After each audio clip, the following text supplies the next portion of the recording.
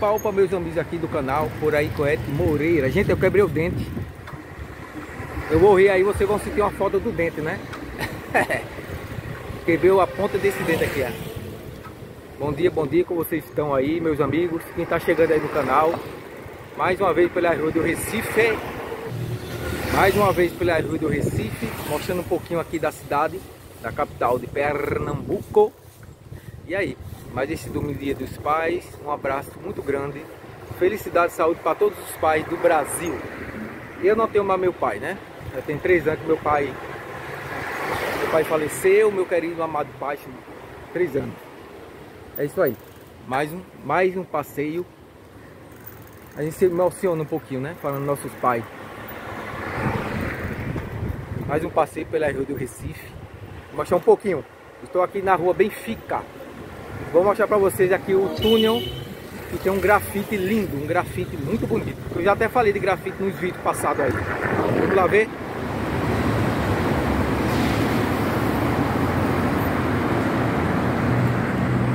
Olha, estou aqui no túnel. No túnel aqui no, na Benfica, no bairro Benfica. É nesse túnel que tem lindos grafites. Aqui é um amigo Beto. Amigo sempre tá comigo né, aí quando a gente sai pelas ruas, né? Eu vou mostrar pra vocês. Aqui é uma, é uma ladeira, né? Lindo grafita. Uma coisa linda, gente. Isso é arte, viu? Isso é arte. São lindos grafites mesmo.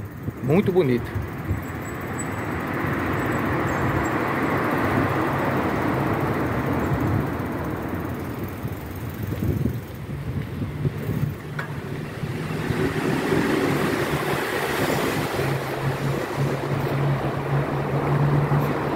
Na bicicleta aqui, por isso tá, tá balançando um pouquinho.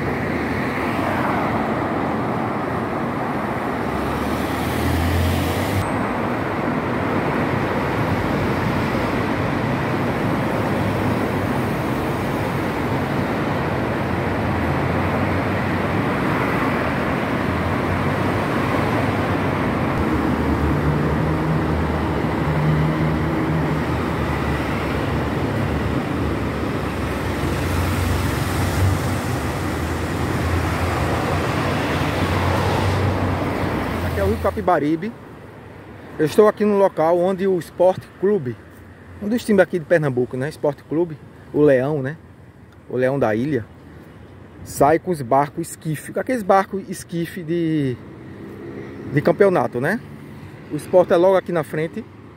Esporte Clube do Recife é logo aqui, o clube do esporte. E é aqui que eles botam aqueles, aqueles barcos de, de competição, os, os esquifes, né?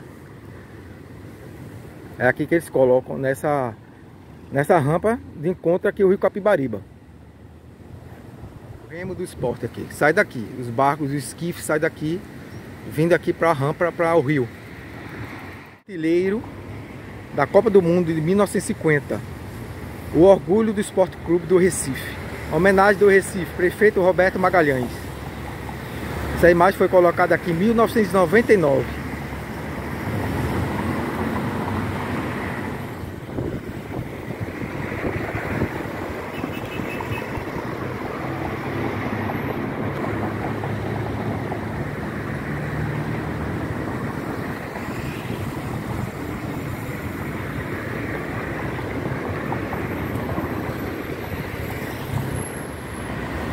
Vamos passar aqui sobre mais uma ponte.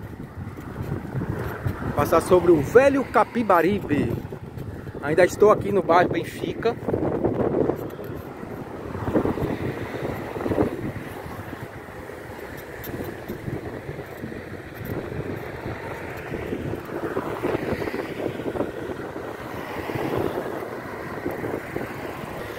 Mais uma vez na ciclovia. Estou indo direto para a cidade, lá para o centro do Recife. Já mostrei para vocês aí a rua Benfica, alguns casarões, muito bonito. E estou aqui no centro do Recife, mostrando sempre para vocês a capital de Pernambuco. Aqui existiu a Rádio Clube, né? E o slogan era Pernambuco para o mundo. Foi, parece, parece, vou pesquisar. Foi a primeira rádio, foi a primeira rádio do Brasil ou das Américas. Vou pesquisar sobre isso para ter a certeza de passar para vocês informação, informação correta, né? Ó, gente, tô passando aqui na rua Lins Petit e vamos passar aí na, como eu já mostrei para vocês também, a Praça Chora Menino, que tem um vídeo aí eu falando sobre a história dessa praça, né? Que tem uma lenda que se ouve e se ouviam também choros de criança. E aqui foi um ponto nas, foi um ponto muito triste na história de Pernambuco, de Recife, né? No tempo dos holandeses. Aqui morreu várias crianças, foram assassinadas.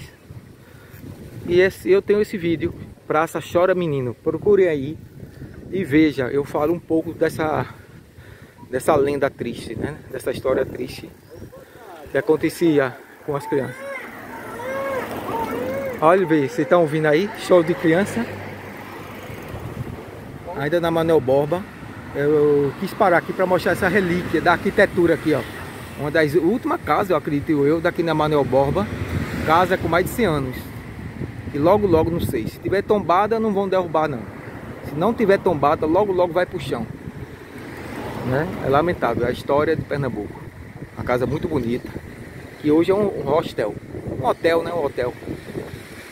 Anel Boba, centro do Recife, próximo à Avenida Conda Boa Vista. Ainda esse casarão aqui, ó. Ele é de 1895, ó. Também é um dos mais antigos do Recife. Aqui da Avenida Conda Boa Vista.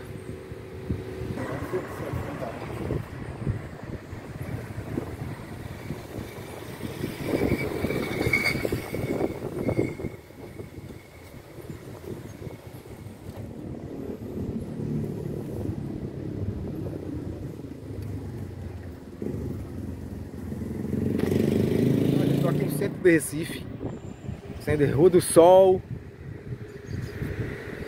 Liceu de Arte e Ofício, aquela casa aqui antiga, ó. Liceu de Arte e Ofício, Teatro Santa Isabel e lá na frente, Palácio do Governo do Estado de Pernambuco.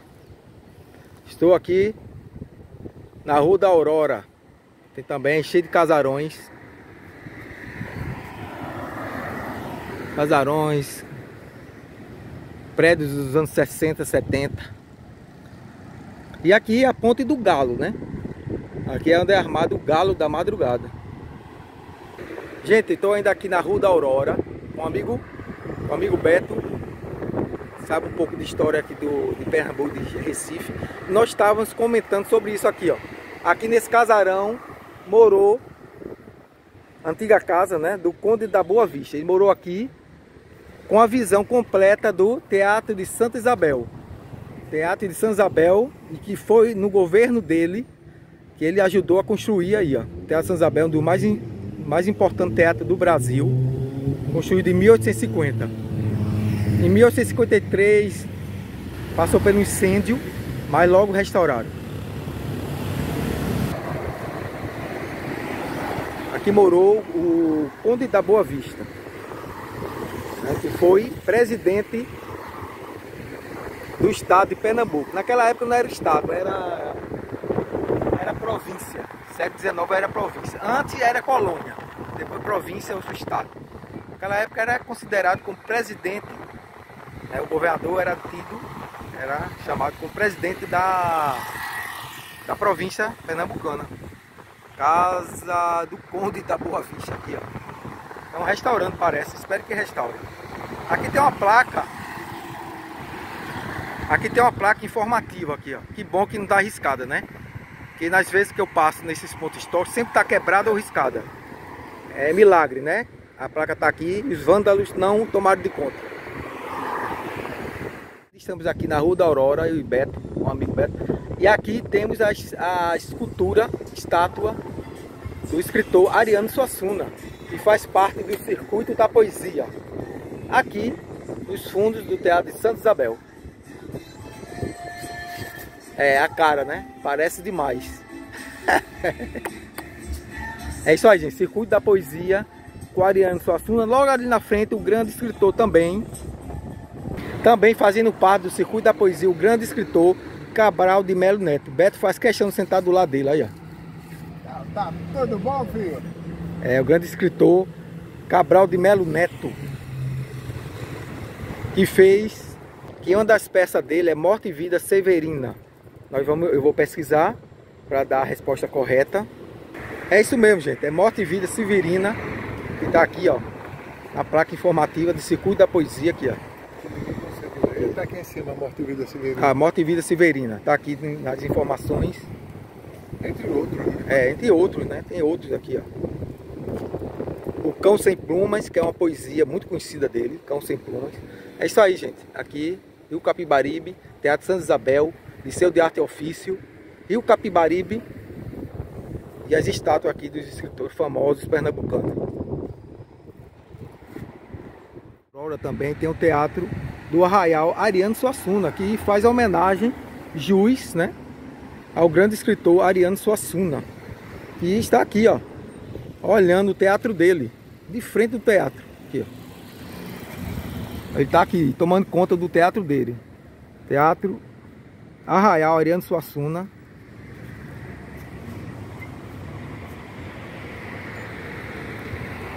É isso aí, vamos valorizar nossos vultos históricos, né? Ó, gente, essa senhorinha, essa senhorinha que vem correndo aqui, tem 74 anos. Ela sempre faz culpa aos, do, aos domingos, né, seu Bruno? Todo domingo ela passa. Todo domingo ela passa aqui. Ela vem correndo de muito longe e vai para bem mais longe aqui. Opa. Oi.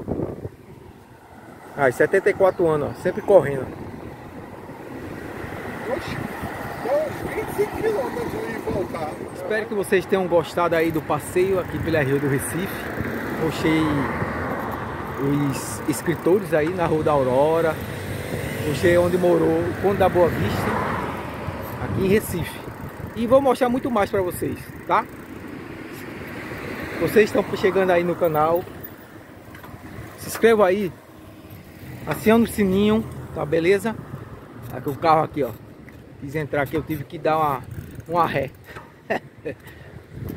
Se inscreve aí, aciona o sininho para você receber as notificações. E desde já agradeço muito a todos que estão passando aqui no canal por aí com Eric Moreira. Um abraço, gente. Um beijão e muito obrigado. Até a próxima.